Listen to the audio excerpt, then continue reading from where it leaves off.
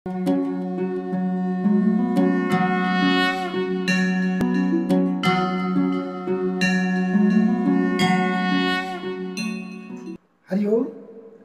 11 सितंबर, दिन शनिवार। अभिनंदन है आपको आज के मेरे इस कार्यक्रम दिव्य वाणी में, जहाँ हम प्रतिदिन चर्चा करते हैं आज के राशिफल। आपकी भाग्य की सुई क्या कहती है? आज आपका दिन कैसा रहेगा? हम इन बातों की चर्चा करेंगे। साथ ही साथ हम आज के पंचांग की भी चर्चा करने वाले हैं कि किस मुहूर्त में कौन से कार्य करने चाहिए, किस मुहूर्त में कौन से नहीं करने चाहिए, किस दिशा में आपको जानी चाहिए, किस दिशा में आपको नहीं जाना है। इन सारी बातों की चर्चा करेंगे, किंतु उसके पूर्व आज जिनका जन्म दिवस है, जिनके विवाह की वर्षगांठ है, आप सबों को बहुत बहुत शुभ मंगल कामना, आशीर्वाद आपको अपने जीवन में उत्तरोत्तर उन्नतर, उन्नति करते चले जाए। आपको स्मरण भी करा दूँ, यदि मेरे YouTube चैनल को अभी तक आपने सब्सक्राइब नहीं किया है तो कृपया कर लें ताकि मेरे सारी वीडियोस आपको निरंतर, निर्बाध रूप से मिलती रहे, आप इसका आनंद उठाएँ और इसका लाभ उठाएँ। प्रियजनों को शेयर भी करें ताकि इन्हें इसका, उन्हें भी इनका लाभ मिल पाए। तो आइए, आज ग्यारह सितंबर, शनिवार के पंचांग की। विक्रम संबत दो हज़ार अठहत्तर, सख संबत उन्नीस सौ तैतालीस। भाद्र मास, शुक्ल पक्ष, पंचमी तिथि है, जो कि रात्रि नौ बजकर छप्पन मिनट पर्यंत रहेगा। तदुपरांत षष्ठी तिथि लग जाएगी। स्वाति नक्षत्र है, दिवा दो बजकर पैंतालीस मिनट। उसके उपरांत में विशाखा नक्षत्र लग जाना है। चंद्रमा तुला राशि में संचरण कर रहे हैं और आज के दिन की सुखता बढ़ा रहे हैं। रवि योग, सर्वार्थ सिद्धि योग और याई जय। इन तीन योगों के कारण आज की महत्ता बहुत ही बढ़ जाती है। अभिजीत मुहूर्त, जिसकी चर्चा में प्रतिदिन बहुत ही विशेष रूप से आपके साथ करता अभिजीत मुहूर्त में किया गया कोई भी शुभ कार्य यह चिरकाल तक शुभ और मधुर फल देने वाला होता है। आज ग्यारह बजकर तिरपन मिनट से बारह बजकर बयालीस मिनट के मध्य अभिजीत मुहूर्त रहेगा और ठीक इसके विपरीत राहुकाल की भी चर्चा करूँ। प्रतिदिन हमें एक डेढ़ घंटे का कालखंड मिलता है। इस डेढ़ घंटे के अंतर्गत कोई भी शुभ कार्य नहीं किया जाना चाहिए, क्योंकि यह शुभ फलदायी नहीं है। जो कि आज नौ बजे से लेकर डेढ़ बजे के बीच मार्ग से है और आज पूर्व दिशा और ईशान दिशा की यात्रा आपको नहीं करनी चाहिए। आवश्यक न हो तो टाल दें। अति आवश्यक हो, यदि टालने योग्य नहीं है तो आपकी रसोई में अदरक है। अदरक का एक टुकड़ा आप ग्रहण करें और यात्रा प्रारंभ करें। आपकी यात्रा मंगलमय हो। आइए अब चर्चा करता हूँ आज के राशिफल की। बारह राशि में सर्वप्रथम मैं प्रारंभ करता हूँ मेष राशि से।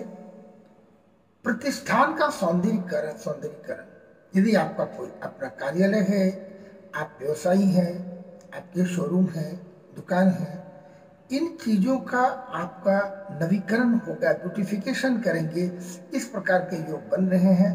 और यदि योग नहीं है, इस प्रकार की योजना नहीं है किया जाना चाहिए, ये आपको उन्नति देगा।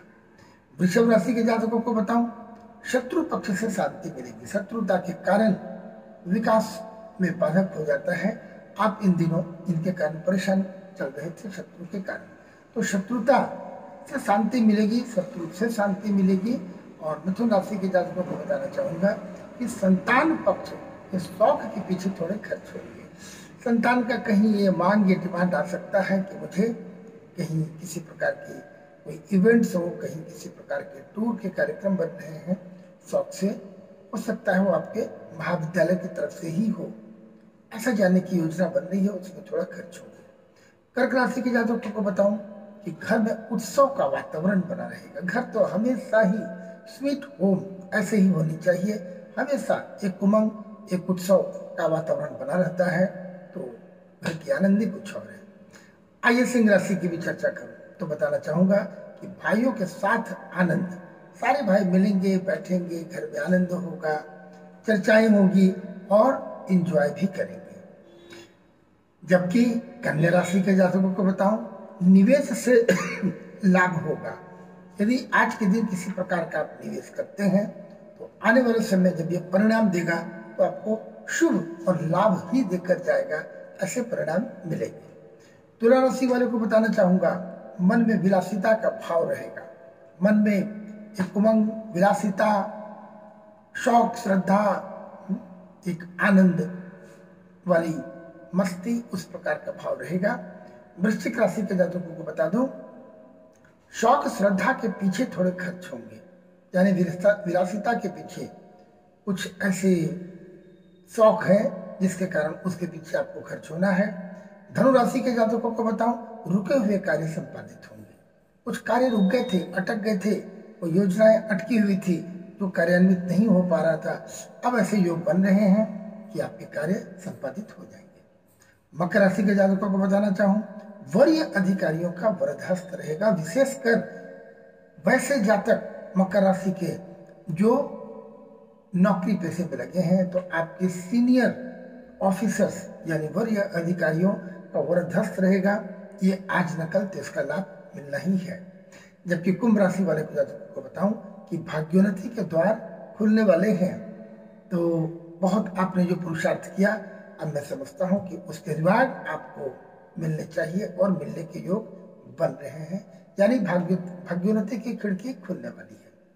अंतिम राशि, मीन राशि संपत्ति के लाभ होंगे। संपत्ति यानी अचल संपत्ति, कोई बड़े संपत्ति के लाभ होने के आसार स्पष्ट नज़र आ रहे हैं। यह भी बहुत ही शुभ समाचार है। तो इन सारी बातों के साथ पुनः आपको मंगल कामना दूँ और पुनः एक बार आपको स्मरण करा दूँ यूट्यूब चैनल को सब्सक्राइब करना ना भूलें और अच्छा लगे तो लाइक बटन भी दबा दें। शेयर कर ही रहे प्रियजनों को। तो कल पुनः मुलाकात होगी फिर किसी अन्य वीडियो के साथ। या कल के राशिफल के साथ तो लेता हूँ विदा। तब तक आप मुस्कुराते रहें, ऊर्जान्वित रहें। हरिओम।